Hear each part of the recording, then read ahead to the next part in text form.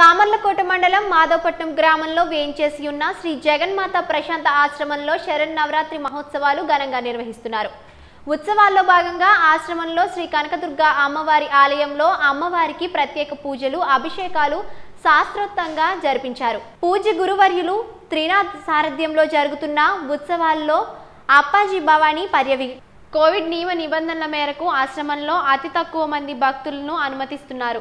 భక్తులు తరలివచ్చి అమ్మవారిని దర్శించుకొని పూజలు చేశారు. ఈ సందర్భంగా ఆశ్రమ నిర్వాహకులు అపాజీ భవాని బాలబాబులు మాట్లాడుతూ ప్రతి ఏటా ఎంతో వైభవంగా నిర్వహించే ఉత్సవాలను కోవిడ్ కారణంగా ఎలాంటి ఆర్భాటాలకు పోకుండా సామాన్యంగా జరిపిస్తున్నట్లు వెల్లడించారు.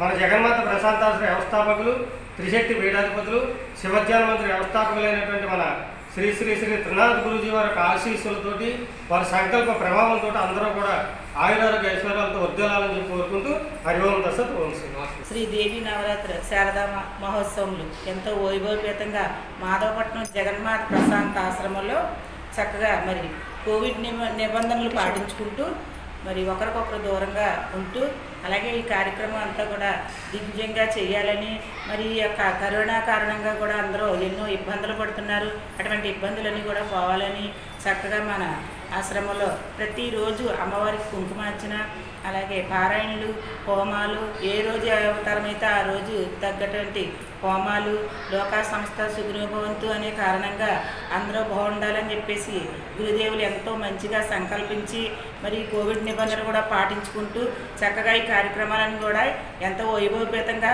ఆనందంగా చేస్తున్నాం. సర్వజనులు బాగోవాలని చెప్పేసి సదుద్దేశంతో మన కార్యక్రమాలన్నీ కూడా దిగ్విజయంగా జరిగి అందరూ కూడా ఆరోగ్యాలతో ఉండాలని అమ్మవారిని కోరుకుంటున్నాను